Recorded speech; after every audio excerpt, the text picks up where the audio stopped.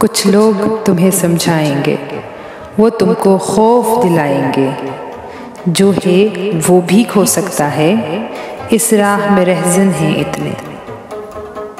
कुछ और यहाँ हो सकता है कुछ और तो अक्सर होता है। पर तुम जिस लम्हे में ज़िंदा हो ये लम्हा तुमसे ज़िंदा है। ये वक्त नहीं फिर आएगा। तुम अपनी करनी कर गुजरो। जो होगा देखा जाएगा। मैं ये खूबसूरत शायरी, जो कि फ़हमिद रियाज ने लिखा है, तमाम वर्किंग लेडीज़ और हाउस वाइफ्स को डेडिकेट करना चाहूँगी, जो अपने करियर प्लस घर की सारी जिम्मेदारियाँ हैंडल करती हैं। आप तमाम को मेरी तरफ़ से सलाम पेश करने के साथ आज का व्लॉग शुरू करूँगी।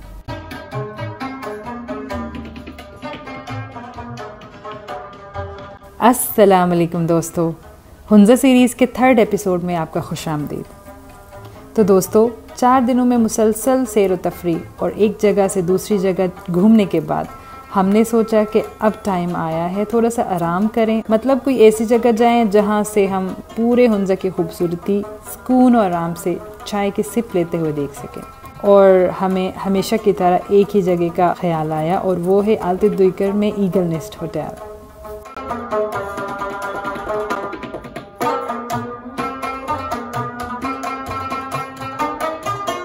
इस होटल को यहाँ की एक लोकल फैमिली रन करती है, जिन्होंने 1990s में स्टार्ट किया था एक कैंप से। मतलब ये तब की बात है जब यहाँ होटल तो दूर की बात है, मुकामी लोग भी आसानी से नहीं आ सकते थे इतनी ऊंचाई पर।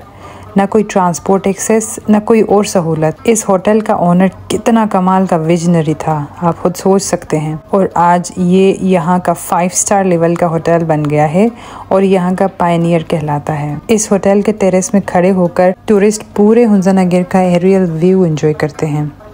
इसके अलावा यहाँ से इंडस रिवर राकापोशी का खूबसूरत नज़ारा और लेडी फिंगर भी बिल्कुल क्लियर नज़र आता है।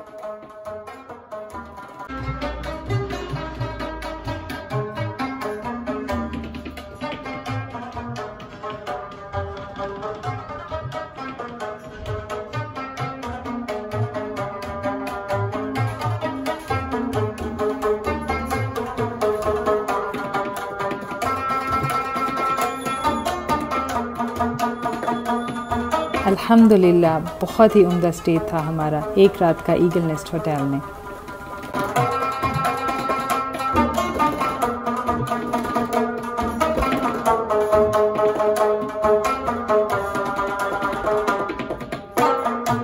इस जगह का नाम दुईकर है, जहाँ ये होटल है और ये जगह सनराइज़ और सनसेट देखने के लिए बहुत मशहूर है।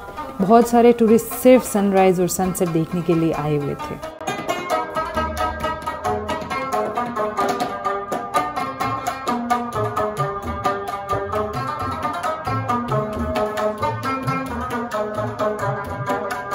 सनसेट तो हम देख चुके थे कई दफ़ा। अब हम सुबह सवेरे उठ के चल पड़े हैं सनराइज़ देखने।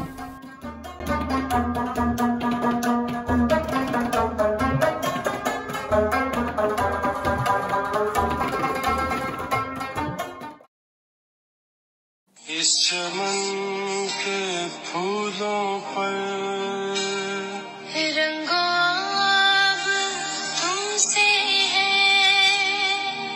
ज़मीन का हर जर्रा।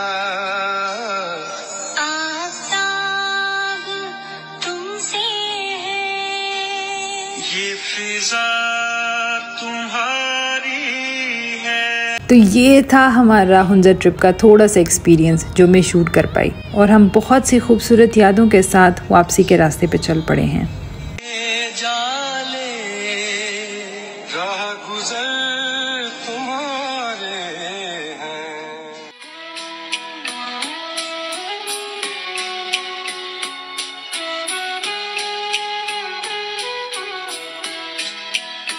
मैं ये कहूँगी कि यहाँ की सरीन ब्यूटीज़ के साथ कैमरा की आँख भी जस्टिस नहीं कर पाएगी, जो आप ख़ुद अपनी आँखों से देख सकते होंगे। इसलिए मैं हाईली रिकमेंड करूँगी, चाहे आप पाकिस्तानी हैं या कोई और नेशनलिटी के, कि एटलीस्ट एक हफ़्ते के लिए अपने फ्रेंड्स एंड फैमिलीज़ के साथ यहाँ घूमने आने के लिए प्लान ज़रूर बनाएँ। यहाँ से घूमकर वापसी में आपके अंदर एक खूबसूरत बदलाव आएगा।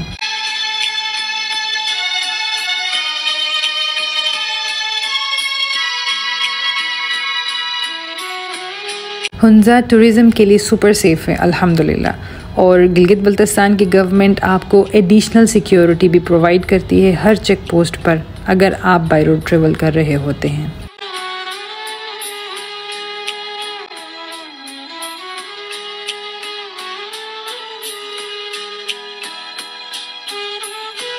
जब इंसान कुछ टाइम के लिए अपने नॉर्मल रूटीन से निकल कर नेचर देखने जाता है तो उसके ऊपर एक अजीब खूबसूरत सी कैफियत तारी हो जाती है। ऐसा लगता है जैसे दिलो दिमाग में जो जंग लग गया था, वो उतर गया है। पॉजिटिविटी की अंबार हो रही होती है। आपको महसूस हो रहा होगा कि आपके अंदर एक नया, जो कि दिलचस्प सा और पुरस्कून इंसान का जन्म हुआ है। वो आपको दुनिया की भाग दौड़ से दूर खींचने की कोशिश करेगा। अल्लाह के कुदरत में इतना पावर है कि आपको अपनी तरफ़ बार बार खींचेगा।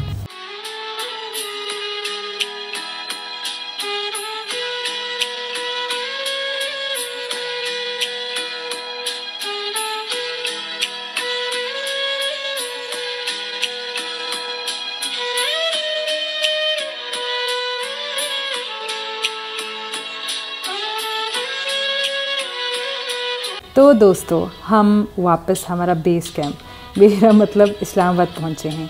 यहाँ से हमने अगले दिन वापस अपने मंजिल मकसूद के लिए रवाना होना है। अगर आप हंजा की खूबसूरत नज़ारे देखना चाहते हैं तो tour the Hunza episode one and episode two ज़रूर देखें। अपना राय देने के लिए कमेंट बॉक्स नीचे हाजिर है। हंजा सीरीज़ के एपिसोड हम यहाँ ख़त्म करते हैं। मज़ीद ऐसे दिलचस्प व्लॉग्स के लिए सब्सक्राइब करें और कनेक्ट रहें। फिर मिलेंगे तब तक के लिए फ़ी अमानिल्ला